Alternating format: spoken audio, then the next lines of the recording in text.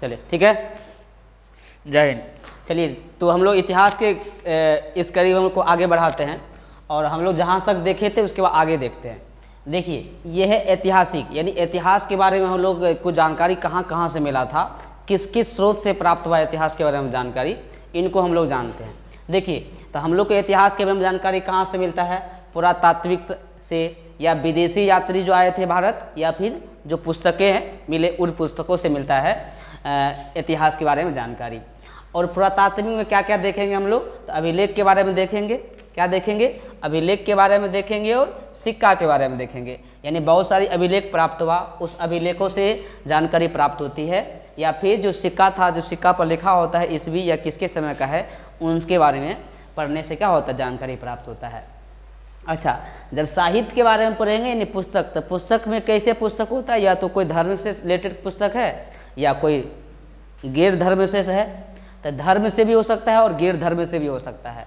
तो गैर धार्मिक पुस्तकें भी हो सकती है, या फिर धर्म से संबंधित पुस्तकें भी होती है।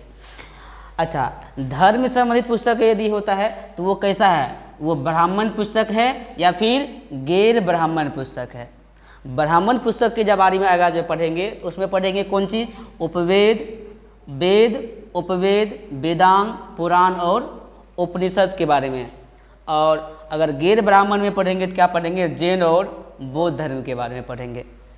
नहीं? तो चलिए तो हम लोग शुरुआत करते हैं कहाँ से? तो हम लोग शुरुआत करते हैं पुरातात्विक यानी अभिलेख से। क्या से? अभिलेख से। तो अभिलेख नहीं, अभिलेख का मतलब क्या होता है? कोई चीज़ को खोद खोद के लिख दिया जाए, जैसे दीवार पर खोद खोद के लिख देंगे, पत्थर पर लिख देंगे, पिलर पर लिख देंगे मतलब खोद खोद के लिखा हुआ जहाँ पर क्या कहते हैं? अभिलेख कहा जाता है। नहीं तो अभिलेख में क्या क्या पढ़ेंगे हम लोग? शिलालेख। अब शिलालेख का मतलब क्या हुआ? शिला मतलब पत्थर। शिला मतलब पत्थर। जैसे पहले हम लोग देखे थे मतलब मसाला वसाला पीसने के लिए जो शिला आता है, वही शिला। नहीं तो वो क्या होता है? पत्थर का ही बना होता है। वही तो क्या हुआ? शिलालेख कई सारे शिलालेख हैं जो हम लोग आगे पढ़ेंगे शिलालेख के बारे में कई सारे शिलालेख हैं। उनके बाद स्तंभ लेख स्तंभ यानी पिलर पर लिखा हुआ है। स्तंभ लेख, गुफा लेख। गुफा यानी जैसे वैष्णो देवी की मंदिर है, वैष्णो देवी की गुफा है। यानी गुफा लेख और क्या है? उनके बाद आपका भित्ति लेख। भित्ति का मतलब पहले भित्ता होता था ना, जैसे पहले भित्ता हम लोग कहते थे, घर में, गाँव में क्या कहते हैं? भित्ता। यानी दीवार पर जो होता है ना, मिट्टी से चिपका उसको भित्ता कहते थे। क्या कहते हैं? भित्ता। तो वो भित्ति लेख उस भित्ता पर लिखा जैसे अभी अभी का है, अभी वर्तमान समय की बात करें तो दीवार पर लिखा हुआ। जो अभी भी चलता आ रहा है, देखते हैं दीवार पर लिखा होता कई सारे प्रचार उचार। तो वो क्या है? भित्ति लेख है।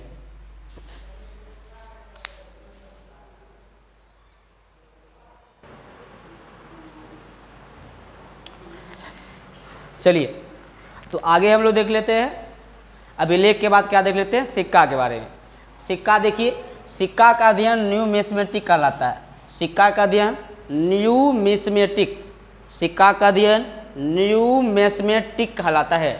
अच्छा टेरेकोटा का सिक्का, सिंधु सभ्यता में, आहत सिक्का या पंचमार्क, आहत सिक्का या पंचमार्क, मौर्य काल में शीशा का सिक्का, सातवाहन, सोना सोना का सिक्का, यूनानी, शुद्ध सोना, कुषाण, अशुद्ध सोना, गुप्त काल चांदी का सिक्का, गुप्त काल, मयूर शैली का सिक्का, गुप्त काल कौड़ी का प्रयोग।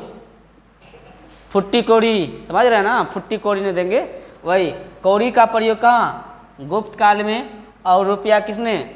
शेर शाह सूरी ने चलाया। और सबसे सर्वाधिक सोना गुप्त काल में ही चलाया गया। तो ये था आपका सोना के बारे में सॉरी क्या बोलते हैं? सिक्का के बारे में। जस्ट अगला वीडियो हम लोग क्लास जो होगा, वो आपको होगा अगला क्लास किसके बारे में? तो विदेशी यात्री के बारे में। और ये इसका लाइव प्रसारण प्रत्येक दिन नौ बजे होता है, शाम के नौ बजे, ठीक है? तो आप लोग इसको ज़रूर देखिए। तब तक के लिए विदा लेते हैं। जय हिंद।